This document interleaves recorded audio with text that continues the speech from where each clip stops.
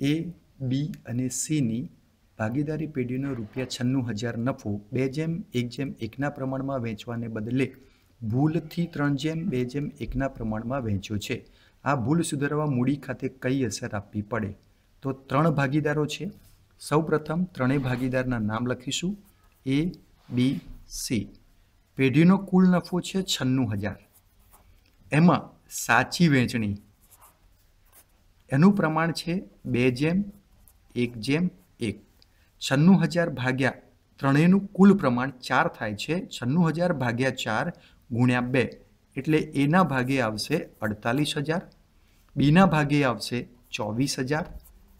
અને સીના ભાગે આવશે ચોવીસ હજાર. અને ખોટી વહેંચણી ત્રણ જેમ, બે જેમ, એક છે. ખોટી વહેંચણીમાં કુલ પ્રમાણ છે ત્રણ વત્તા બે વત્તા એક એટલે છ. આમ, એના ભાગે ત્રણ પ્રમાણ હોવાથી એની વહેંચણી આવશે અડતાલીસ હજાર. બીના ભાગે બે પ્રમાણ હોવાથી એના ભાગે આવશે બત્રીસ હજાર અને સીના ભાગે આવશે સોળ હજાર. હવે, ખોટી ખોટી વહેંચણી થઈ ગઈ છે એને ખરેખર અડતાલીસ હજાર સાચા લઈ જવા જોઈતા હતા, પરંતુ એ ખોટી વહેંચણીમાં અડતાલીસ હજાર લઈ ગયો છે. એટલે એની પાસેથી આપણે કંઈ લેવાનું રહેતું નથી. બીમાં, બીને ખરેખર ચોવીસ હજાર રૂપિયા એના ભાગે નફો લઈ જવો જોઈતો હતો, પરંતુ ખોટી વહેંચણીમાં એ બત્રીસ હજાર વધુ લઈ ગયો છે. એટલે ચોવીસમાંથી બત્રીસ વધુ લઈ ગયો છે, આઠ વધારે લઈ ગયો છે. જે પાછા લેવાના થશે એટલે એના મૂડી ખાતે આઠ હજાર ઉધાર કરવા પડશે માટે માઇનસ એના મૂડી ખાતે ઉધાર અસર આપીશું. જ્યારે સીને ખરેખર ચોવીસ હજાર લઈ જવા જોઈતા હતા, પણ એ ખોટી વહેંચણીમાં સોળ હજાર લઈ ગયો છે, આઠ હજાર ઓછા લઈ ગયો છે, એટલે એને આઠ હજાર વધુ લઈ જવા પડશે, એટલે આઠ હજારની અસર એના મૂડી ખાતે જમા આપીશું. આમ આ ભૂલની સુધારવા માટેની નોંધ થશે. ભૂલ સુધારણા નોંધ. આમ નોંધ માટેના ખાના દોરી દઈશું સૌપ્રથમ.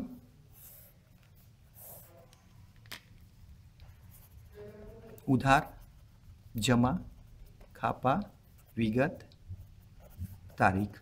ઉપર હેડિંગ આપીશું. ભૂલ સુધારણા નોંધ. હવે ત્રણેય ભાગીદારોમાંથી જે ભાગીદારોના મૂડી ખાતે માઇનસ આવે છે, એ ભાગીદારનું મૂડી ખાતું ઉધાર થશે. એટલે કે બીના મૂડી ખાતે ઉધાર